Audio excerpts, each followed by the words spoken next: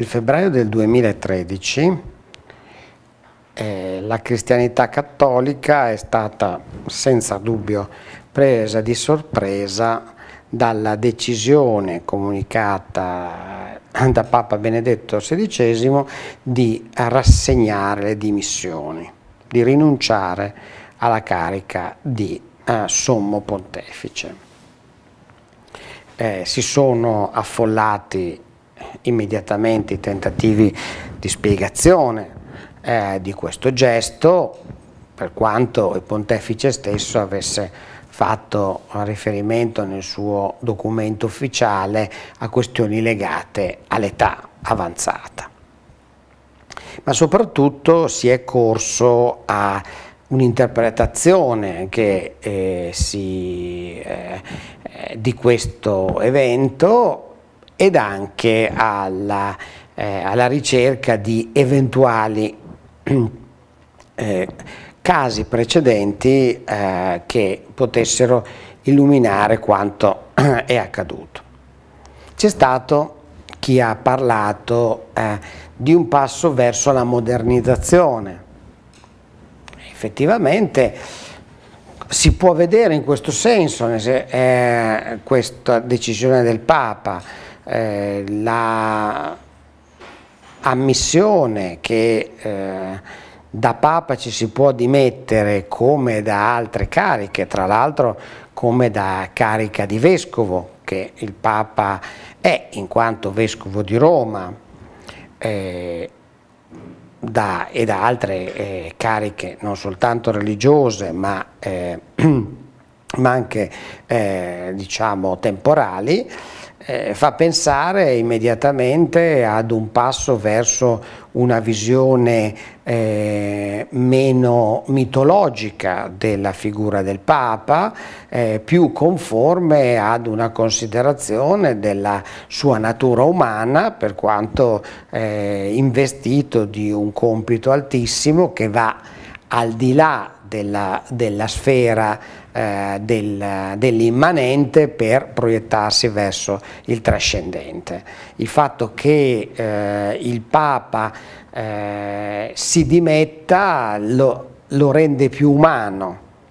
rende la possibilità della, eh, della su, la, la, sua elezione eh, un evento importante, ma l'assume nel novero delle elezioni di, di, altri, eh, di altre porporate della Chiesa, elezioni o nomine. Non la eh, toglie, se vogliamo, eh, quell'aureola di eh, soprannaturale che un certo, di, eh, un certo modo di dipingere il pontefice romano, soprattutto eh, negli ultimi tempi, finisce per conferirgli. Eh, D'altra parte è anche vero che questa perdita di aureola non necessariamente significa o deve significare una perdita di autorevolezza o di importanza eh, del suo ufficio può probabilmente significare per chi parla di, di modernizzazione eh, semplicemente un modo eh, più eh, umano, razionale di vedere e di concepire la funzione del pontefice all'interno della Chiesa. Eh, di mestiere io faccio il, lo storico del Medioevo e quindi eh, il commento che mi sento di fare su questo giudizio è che se questo eh, evento eh, può significare un, un, passo verso una modernizzazione eh, della concezione del, del, ruolo del pontefice nella Chiesa, eh, forse paradossalmente per chi è abituato a contrapporre medioevo e modernità, se c'è una vera eh, anticipazione del gesto di Benedetto XVI è il gesto di un Papa medievale. Ora so, è stato ovvio, come ho già detto, che eh, molti siano andati a correre, eh, a percorrere eh, le cronache eh, della, del quasi bimillenario eh, ufficio di Pietro per vedere quali pontefici prima di Benedetto XVI a, si fossero dimessi. Mi pare anche dalla lettura di libri eh, come eh, Il gran rifiuto di Roberto Rusconi, che mm, recentemente disponibile in libreria, eh, che in verità se c'è un, eh, un, precedente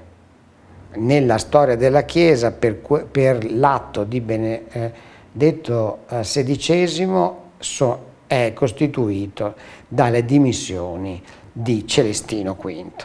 Non perché non ci siano stati altri papi,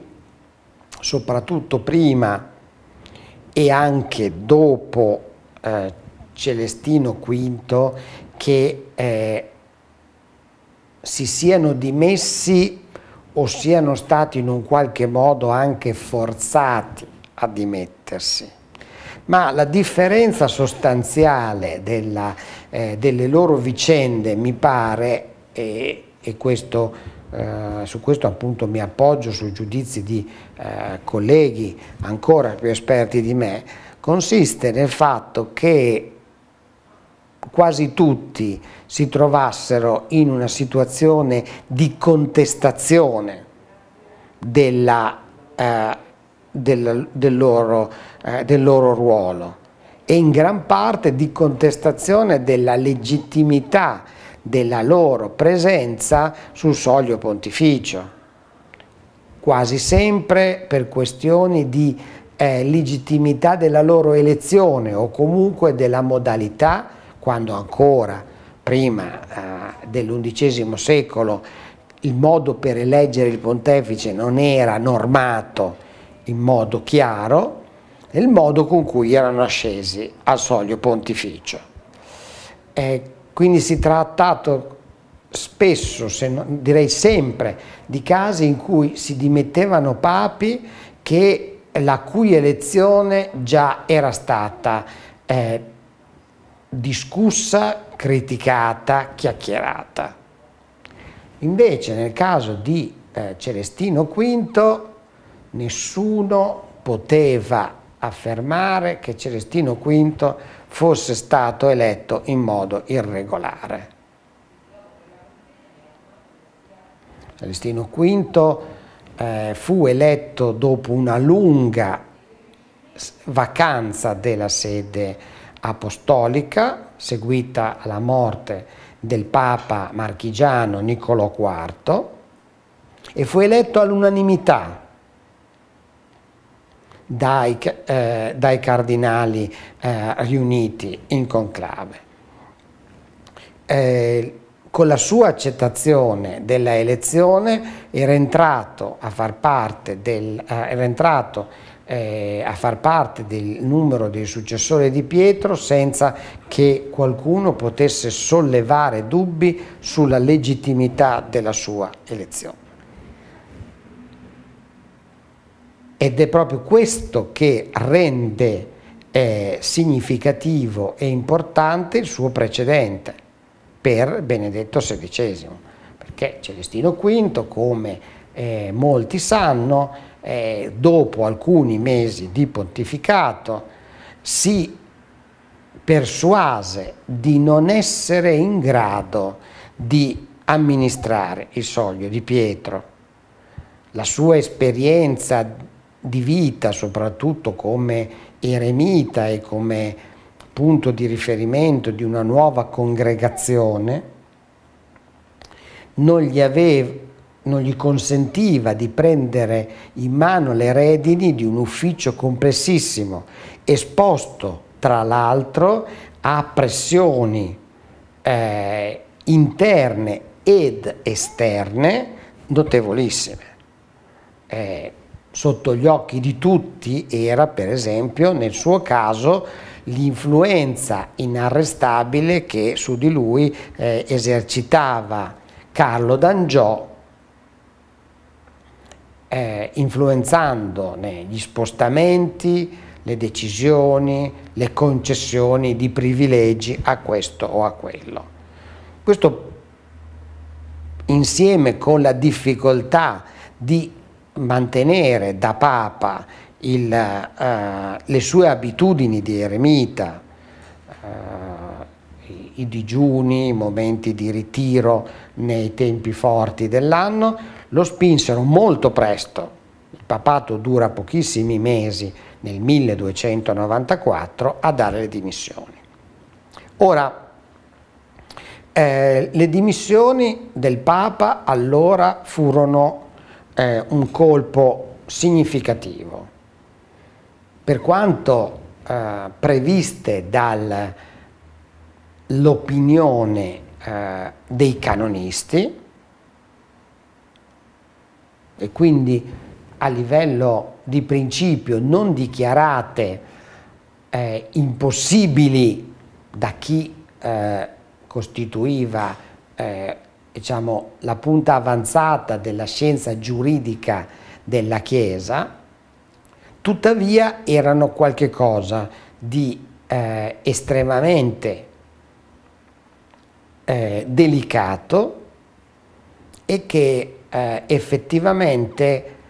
risultava drammatico soprattutto con l'aumento della importanza del Papa nella Chiesa che si era verificato a partire dall'undicesimo secolo.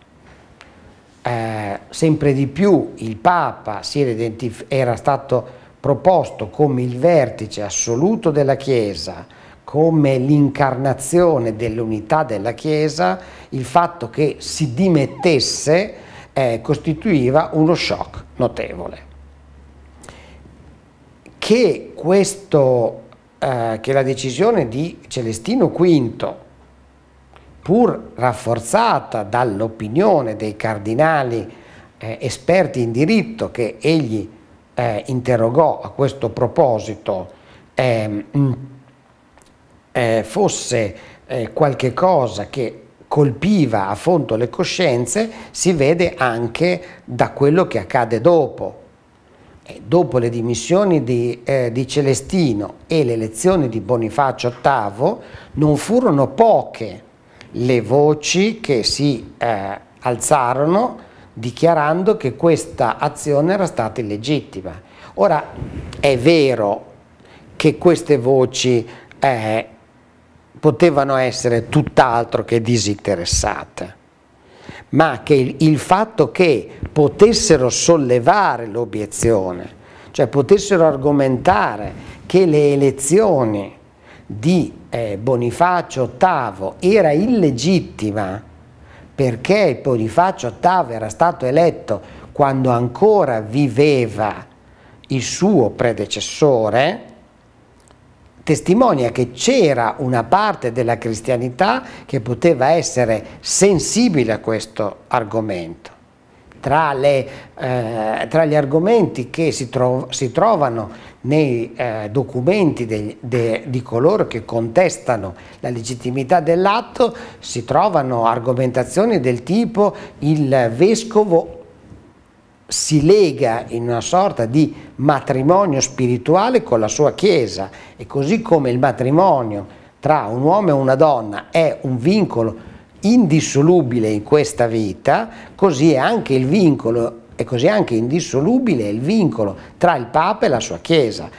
così come il matrimonio è sciolto solo dalla morte di uno dei coniugi, così anche l'essere Papa finisce solo con la morte. Questo viene argomentato in questo e nel periodo cui, di cui parliamo e eh, si tratta di argomentazioni, come ho detto, che pur venendo da persone che avevano ragioni eh, non, non, tutte confessabili di, di, eh, di, avversione nei confronti eh, di Bonifacio VIII, pure potevano contare su un ascolto, su una, su una verosimiglianza della loro obiezione, ne, ne è testimonianza quello che accade. Intanto eh, eh, il Consiglio dei Cardinali, eh, da, dei cardinali esperti a Celestino V, prima di dimettersi, è che emetta un documento in cui si dice, quando è ancora Papa, che è legittima le, la, eh, la dimissione del Papa. Se c'è un bisogno che eh, Celestino emetta questo documento, vuol dire che la questione non era così scontata. Il documento, che fu probabilmente preparato, non fu però, eh, non c'è stato tramandato. C'è stato tramandato invece il documento col quale Bonifacio VIII ha ribadito la possibilità delle dimissioni del Papa. Ma poi eh, da tenere in conto è il fatto che Bonifacio stesso, oltre a inserire eh, nel corpo del, del, diritto della Chiesa una, una rinnovata affermazione di questa possibilità, ha anche provveduto a promuovere, una, a sollecitare la produzione di trattati che sostenevano questo, eh, questo punto. L'esempio più, più, palese è quello dell'incarico ad Egidio Romano della redazione di un trattato sulla eh, rinuncia del Papa al suo, eh, al suo ruolo. E se ha avuto bisogno di mobilitare gli intellettuali più eh, famosi del tempo per difendere la sua posizione, Bonifacio VIII, significa che sentiva minacciata eh, la sua, la, la, il suo ruolo dalle possibili obiezioni che venivano da eh, dalla contestazione della legittimità delle dimissioni di, di, Celestino V. E altro aspetto, forse umanamente ancora più inquietante, è il fatto che Bonifacio VIII abbia tentato e poi infine sia riuscito ad imprigionare eh, Celestino V, o meglio l'ex Celestino V, per evitare con tutta verosimiglianza che venisse poi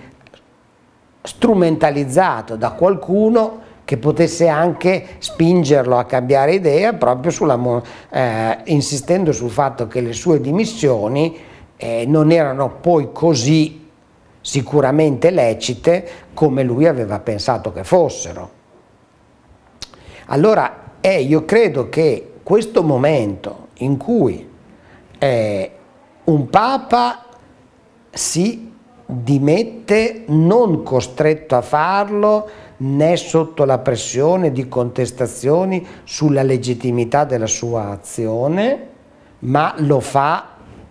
eh, in un momento di crisi personale sulla sua adeguatezza alla carica che ricopre. Il fatto che nei confronti di una cristianità che ha dei dubbi sulla legittimità di questo, eh, di questo atto, si producano testi normativi, ma anche testi eh, polemici, dottrinali, per sostenere che eh, invece le dimissioni del, eh, del Papa sono possibili, fanno delle dimissioni di Celestino V il vero eh, il vero caso che precede quello di Benedetto XVI, perché non soltanto dalle sue dimissioni, ma dalla legittimità delle sue dimissioni dipendeva la legittimità di Bonifacio VIII e di conseguenza anche la legittimità della successione dei papi. Quindi nel momento in cui lui si è dimesso e c'è stata una mobilitazione per convincere e convincersi della ammissibilità di quel gesto, le dimissioni papali sono diventate una possibilità e siamo nel 1294, in piena età medievale. Questo precedente avviene molti anni prima del 2013 e quindi io credo che si può, eh, io avevo proposto come titolo di questa chiacchierata le dimissioni del Papa una invenzione medievale e lo ribadirei, nel senso che fine, eh, nella fine del 200 eh, proprio attorno alla vicenda di Celestino V eh, e alle polemiche che ha suscitato, eh, il, la dimissione del Papa è diventata una possibilità concreta e diciamo al di sopra eh, di ogni dubbio normativo, canonistico e teologico possibile. O, significativo è che poi i casi di dimissione posteriori a Celestino si contino sulle dita di una, di una mano e che poi nessuno sia stato in un contesto così,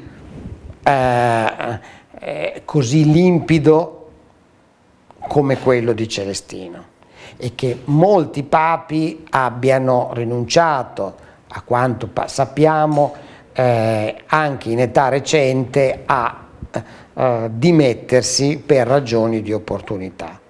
Ma il principio che